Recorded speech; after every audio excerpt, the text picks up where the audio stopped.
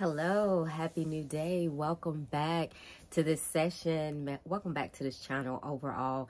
I wanted to do a really quick video. I wanted to go in my office to film this, but I am in the process of getting dressed and I feel like sometimes that stands in the way of videos. You always wanted to make sure um, you're in the right spot, the right lighting. So everything could be off on this video, but hopefully the message is on time as I get ready.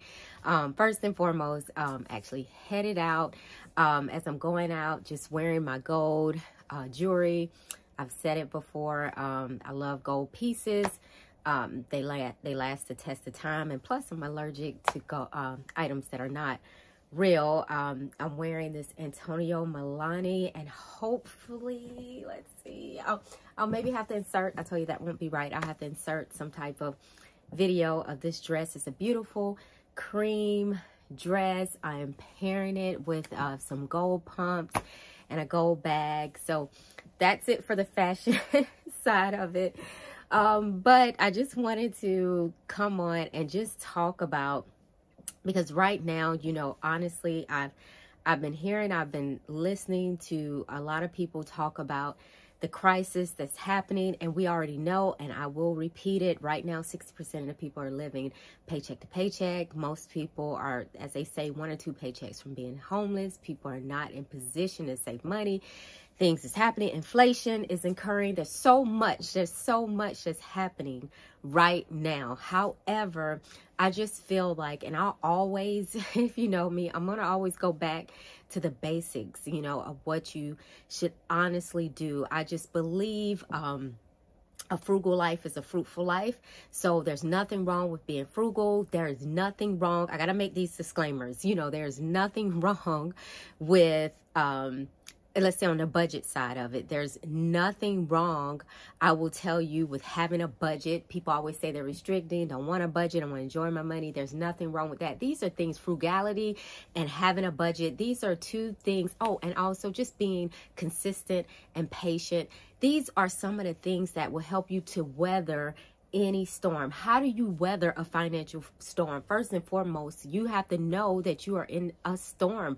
You know, if you don't know you're in the midst of a of a storm, if you don't know those statistics that are surrounding you right now, if you don't know the impact that those statistics that I mentioned have on you, then guess what? The storm could possibly take you over. However, I'm making this video really quickly because I do not want it to take anybody over, especially anyone that's listening that's a part of these sessions, you should not allow it. There's just some simple things that you got to do. Number one, have a financial vision for your life.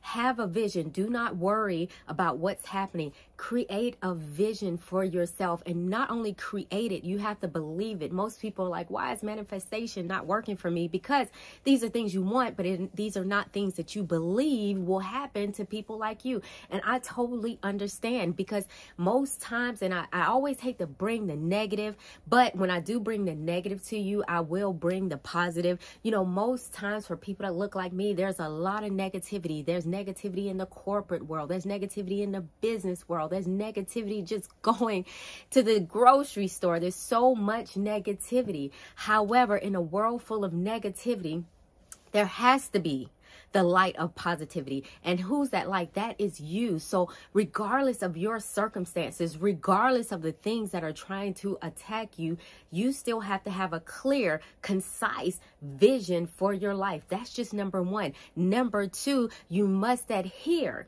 to a budget. I didn't say have a budget. I said adhere to it. See, most times what I'm finding is that a lot of people do not adhere to a budget. They'll say, oh yeah, I have a budget. And then when you look at it, the problem is they haven't been adhering to it. Adhering, adhering to a budget means that you are sticking to it. You are sticking it out. See, if your budget is telling you you have to stop with all the entertainment extra spending for the month, then you listen to it. If your budget tells you you have extra to do that, then that's fine. But if your budget is telling you no, money is assigned here, this place, then you have to assign it in those places and you have to see it through. See, a budget is just a navigation system. If you want it simple, it's a navigation system. It will help you navigate through your life financially. And thirdly, I can't look, faith. I'm here to talk about fashion, finances, and faith. And if you don't have any faith, then I don't know. Maybe, maybe you want to go somewhere else because I'm going to speak about it. Why? Because I would never be here before you. I would never exist in this world without my faith, without believing that I serve a positive, powerful, motivating force. You have to have faith. You have to build your faith, not one day, not two days, but every day. Every day must be a faith building process. You must be doing things to grow your faith. That could be reading, that could be writing in your gratitude journal, that could be listening to positive, motivating messages like these. I gotta digress. and take a breath. I'm trying to rush this message because I feel there's a sense of urgency. So hopefully this message helps someone hopefully there's something that you can use i'm gonna hopefully uh, insert or like i told you I maybe not insert because this video is just i know all over the place but uh, close out with just uh, outfit for those of you that are here for the uh, the fashion part of it so thank you for tuning in have a beautiful blessed new day. Hasta luego